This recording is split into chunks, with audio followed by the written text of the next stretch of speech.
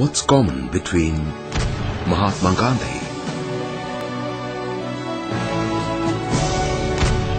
Sardar Patel, Vikram Sarabhai,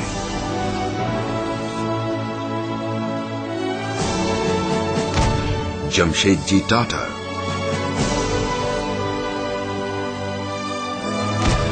Dhirubhai Ambani,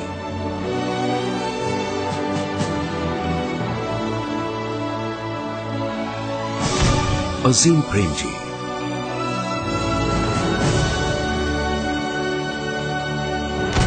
Tulsi Tanti,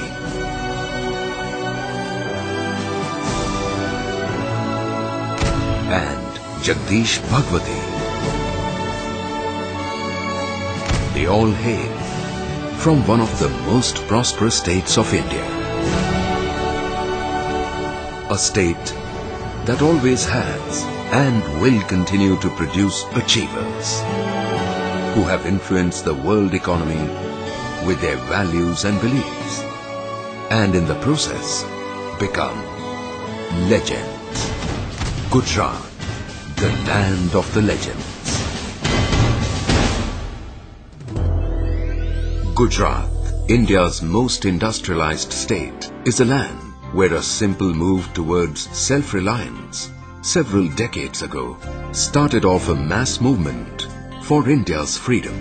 A movement which you can feel everywhere, even today. In the honest hands that toil, in the scientific farming techniques, and in these green fields that redefine prosperity. You can see this energy everywhere, in the wind farms and gas grid, in the new discoveries that are ushering in energy sufficiency, and in the power plants that empower life. You can notice the penchant for perfection everywhere. In the temples of learning, in the world-class research institutions, and in these eyes that are focused on productivity.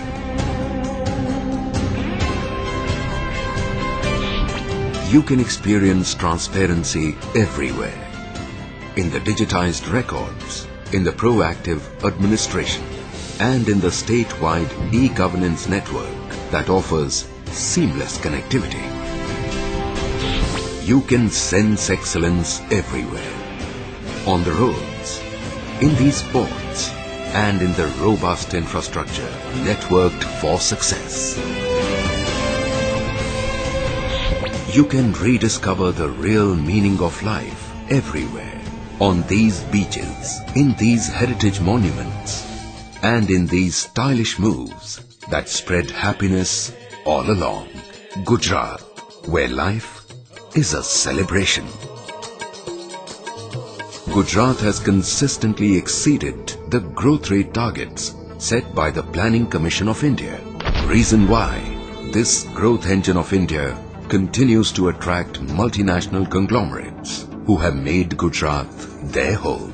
Gujarat is home to the world's largest grassroots refinery and is fast emerging as the global hub for steel pipe manufacturing. Gujarat is home to over 40% of the Delhi-Mumbai industrial corridor.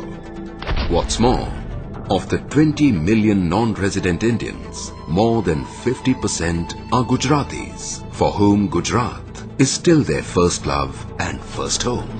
And these enterprising Gujarati people living outside Gujarat too continue to shape the world economy. The London Directory has Patel as one of its 25 most common surnames. The motel industry of USA is entirely dominated by the Gujaratis.